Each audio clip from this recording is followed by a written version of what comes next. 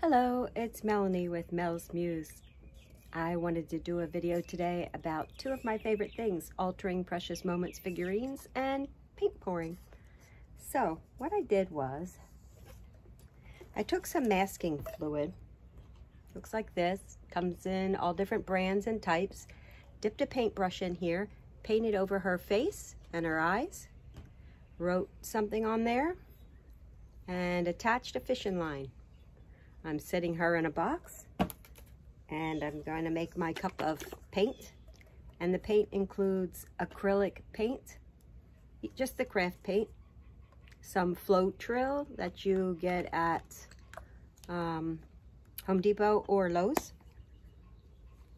a little bit of pouring medium. I've done it without pouring medium before. You can use a little bit of water if you need to. You want it to be this consistency of milk not too thick. If you're paint pouring on a canvas, the secret ingredient would be treadmill oil to make cells that are super cool, and I'll do that later. But today it's paint pouring on Precious Moments figurines. Why? Why not?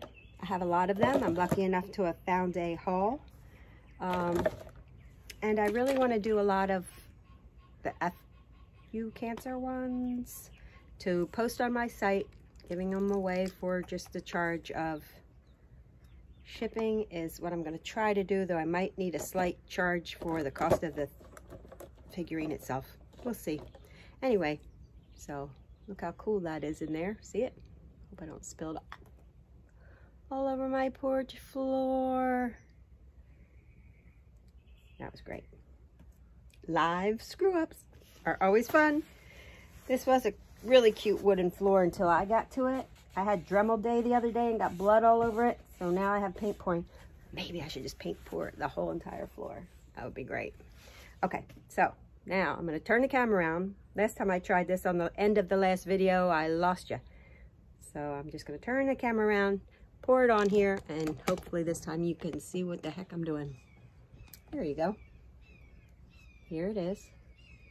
See how it's starting to break up? If I had some treadmill oil in there, you'd see a lot of big cells.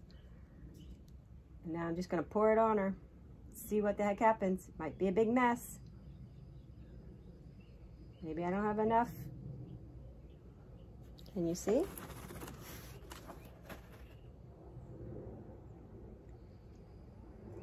I'd have to make another cup for the back of her. Didn't think about the back. That was dumb. Hmm. Yeah, maybe I don't have enough because I didn't think about the back. Well, when she dries, I'll have to do it again and pour it on the back.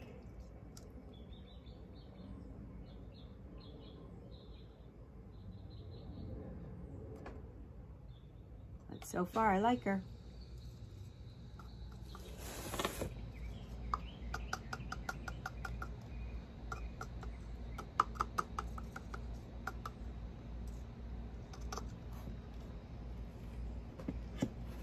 See what she looks like when she dries.